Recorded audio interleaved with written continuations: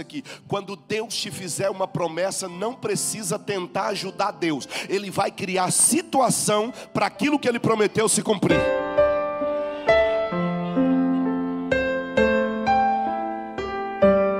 Pela forma humana não era para o senhor estar tá aqui. Pela forma humana não era para tu estar tá aqui. Mas Deus falou: fica tranquilo, como eu tenho promessa, eu vou criar uma situação.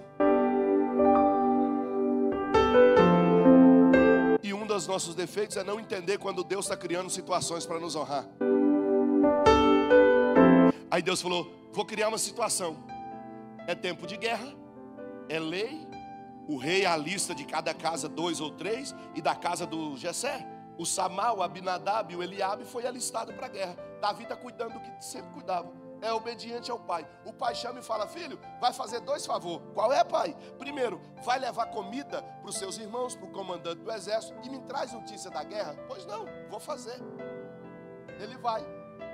Quando ele chega lá, Israel está vivendo uma guerra. Israel está sendo afrontado por um homem, 40 dias, de manhã e à tarde. São 80 afrontas. E ele está lá e ele leva comida, pergunta para os irmãos: está tudo bem aqui? Está tudo bem? Está tudo bem. Então vou montar no, no, meu jumento e vou voltar. Quando ele vai para montar no jumento e voltar para fazer o que fazia, ele escuta um grito: Ei! Escuta aqui. No que ele escuta o grito, ele vê o povo tremendo. O que? Eu escutei um grito. Os irmãos tentam abafar, alguém conta. Não, é porque tem um homem aí do exército filisteus é guerreiro de Gade. Ele desafia, tem 40 dias que ele está desafiando a gente, de manhã e de noite. Toda vez que ele grita lá, mandam me enfrentar, o próprio Saul treme de medo e o resto aqui tudo esconde.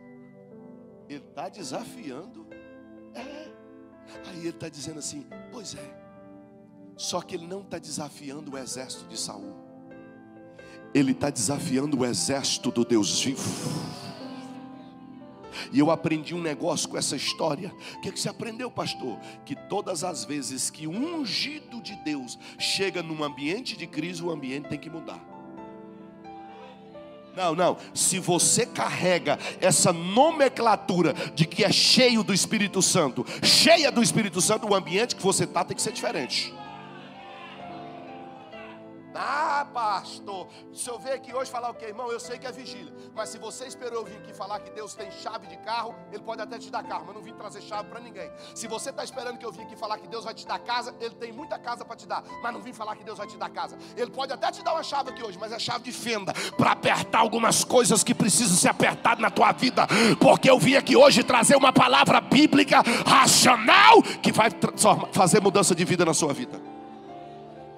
Eu sou cheio de Deus, eu sou cheio do Espírito Santo, mas o teu ambiente é só de fofoca, fala mal de todo mundo, compra, não paga. Uh -uh, pode ser cheio de qualquer coisa, Espírito Santo não. O problema é que a gente confunde. O problema é que as pessoas estão confundindo. Espera aí, me explica que Espírito Santo é esse que você é cheio. Se o ambiente em que você está não difere de nada do mundo.